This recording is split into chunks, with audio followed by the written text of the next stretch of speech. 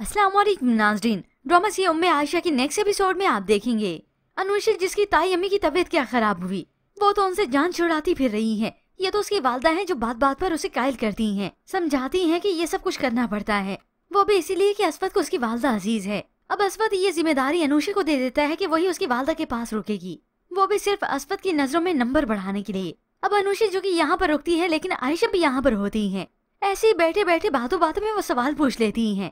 आयशा, तुम्हारी ताई अम्मी से कोई रिश्तेदारी नहीं है, लेकिन फिर भी तुम उनकी इतनी फ़िक्र कर रही हो। आखिर क्यों?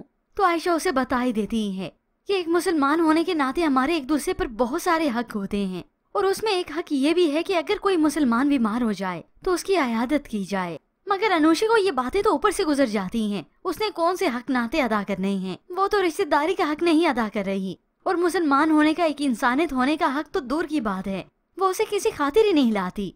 मगर अनुषा चलाक बनती ये सारी ज़िम्मेदारी उसे ही दे देती है। आयशा, वैसे भी तुम यहाँ पर हो और तुम्हें हक अदा करने मुसलमान होने के तो फिर यहीं पर रहो और ताई अम्मी का ख्याल रखो, मैं तो जा रही हूँ। ये देखकर तो आयशा साकित रह गई कि किस तरह से इसने जान ही छुड़ा ली। खैर, आयशा फिर बुरा ही नहीं मनाती।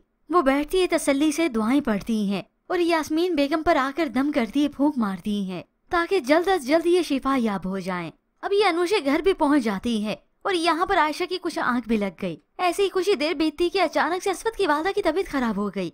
आयशा फ़ौरन से उठकर बैठ जाती है, डॉक्टर्स को बुलाती है और वहाँ पर असवत को वो कॉल भी कर देती है कि उसकी वादा की तबीयत अचानक खराब हो गई है। वो फ़ौरन से उठता है, अपनी चच्ची को भी बता देता है।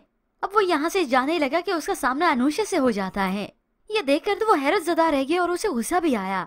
अनुषा तुम तुम यहाँ पर क्या कर रही हो? मगर ये अनुषा तो खुद को मासूम साबित करने लगी, बहाने करने लगी। कि तुम्हें तो पता है मेरा दिल कितना नरम है। मुझसे ताई जान की हालत देखी नहीं जा रही थी। आयशा वहीं पर है। मगर अब ये असवद किसी बात का लिहाज नहीं रखता। मुझे तो तुम पर एतबार करना ही नहीं चाहिए था। मगर मजाले अनुषा ने अपना कसूर माना हो। ये तो बाद में असवद के जाने के बाद उसकी वालदा बुरा भला कहने लगी। खैर अब जो भी हुआ, अगले ही दिन आखिरकार असवद की वालदा को डिस्चार्ज किया जाता है। ऐसे में डॉक्टर्स का बुलावा भी आ गया कि कोई एक आ जाए। असफत की चची डॉक्टर की बात सुनने के लिए जाने लगी, मगर असफत उसी वक्त मना कर देता है और डॉक्टर्स के पास भेजता है आयशा को। आयशा हैरान हुई कि मैं क्यों? तो असफत ने वजह भी बता दी सबको, क्योंकि रात को अम्मी के पास यही रुकी थी और यही उनकी हालत अच्छे से जानती है। यूँ घर जाते ही यास्मीन बेगम को तो बहुत एहसास होता है, खुशी भी। वो आयशा का तहे दिल से शुक्रिया अदा करती हैं। तुमने तो सारी सारी रात जाग मेरी खिदमत की है, अगर मेरी सगी बेटी भी होती तो इस तरह से ना कर पाती। ये सुनकर अनुषा और उसकी वालदा तो जल गईं। उन्हें तो और भी आयशा से हसद होने लगा। मगर जहाँ पर अनुषा होती है और वहाँ पर उसकी वालदा भी कोई कम नहीं, अपना हसद निकालने में। आयशा कमरे से बाहर आई, यहाँ से जाने लगी कि अनुषा की वालदा तस्लीम करती है और उसका शुक्रिया अदा करती हैं कि वाकई में तुमने भाभी जान की बहुत खिदमत की और अगले ही पल उसके हाथ में पैसे ही थमा दिए और उसे इस तरह से ट्रीट किया जैसे वो उनकी मुलाजमा हो या खैरात के पैसे ही थमा दिए। सामने खड़ी अनुषा भी खुश होती ये सब देखकर। आयशा मना करती है, मैंने कोई एहसान नहीं किया, और ना ही मुझे इस बात का कोई इनाम चाहिए। ये तो एक मुसलमान होने के नाते मेरा फ़र्ज़ था।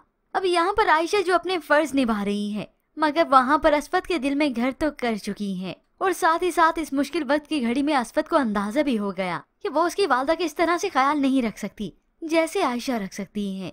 अब तो बस असफत को अनुषा और उसकी वालदा की बातें सुनने की ही देर है, क्योंकि अपनी असलियत तो एक दूसरे से वो निकालते ही रहते हैं। पर इसके मतलब व्यूवर्स आप क्या राय रखते हैं। मजीद ड्रामा रिव्यूज़ के लिए आप देखते रहिए उर्दू टीवी